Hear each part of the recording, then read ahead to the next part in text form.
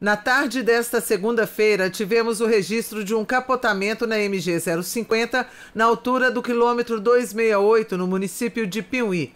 Neste acidente, felizmente, os dois homens que estavam no veículo apresentaram somente ferimentos leves e recusaram atendimento médico. Segundo informações do Corpo de Bombeiros, a causa do acidente se deu após o condutor do veículo perder o controle direcional devido a uma aquaplanagem na pista. E nesta época de chuvas é onde acontecem a maioria dos acidentes. Por isso, o Jornal da Onda conversou com o sargento Anderson, do Corpo de Bombeiros de Piuí, que deu dicas de segurança para quem for pegar a estrada.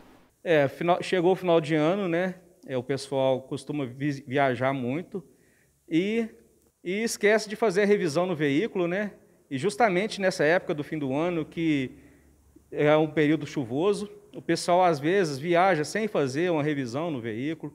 É muito importante que o veículo esteja em condições, com os pneus, amortecedores em boas condições, mas somente isso não é o necessário.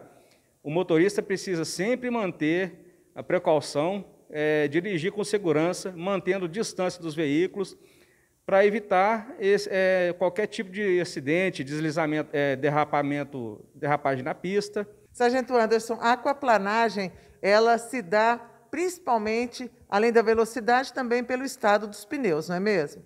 Sim, a aquaplanagem ocorre é, quando o veículo deixa de tocar o solo, né? Existe uma, uma lâmina de água entre o veículo e o solo. Nos veículos com os pneus mais novos, é, há um ganho, né? não existe um tanto um prejuízo. Agora, com o veículo com o pneu mais desgastado, o prejuízo é muito grande. Mas engana-se o motorista também, o condutor, que está com pneus novos é sinônimo de dirigir como se estivesse em pista seca.